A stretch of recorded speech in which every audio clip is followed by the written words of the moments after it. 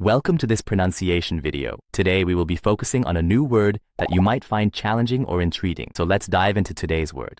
Haushalt, which means, A household or family unit managing a domestic economy. let's say it all together. Haushalt. Haushalt. Haushalt. One more time. Haushalt. Haushalt. Haushalt.